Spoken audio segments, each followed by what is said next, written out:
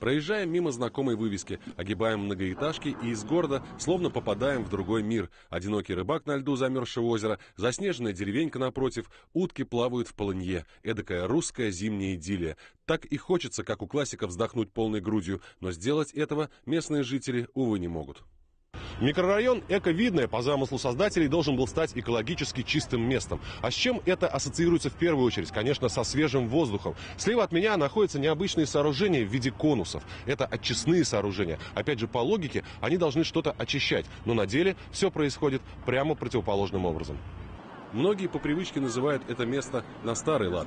В почтовом же адресе этих домов значится микрорайон Купеленко по имени реки, на берегу которой стоят дома. Название красивое, как принято сейчас говорить, атмосферное. Только вот с атмосферой здесь все очень плохо. Для нас э, сделали набережную красивую для отдыха. Но дело в том, что когда мы с сыном пошли туда гулять, было ощущение, что мы в деревне, где такой туалет, знаете, в виде ямы, и невероятно страшный запах, вонь. Причина этого – выход из строя оборудования на очистных сооружениях. Проблема эта существует давно, но решать ее в администрации Ленинского района начали только в апреле прошлого года. Именно тогда административные полномочия передали от поселения Горки Ленинские в муниципалитет.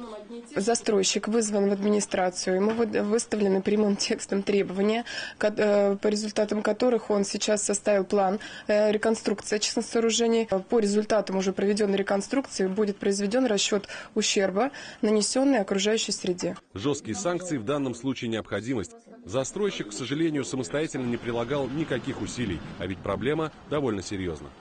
В непосредственной близости от очистных сооружений находится детский садик. Недалеко строится еще один, казалось бы, живи да радуйся. Социальная инфраструктура развивается, но, увы, ощущение радости у жителей микрорайона Эковидно изрядно подпорчено.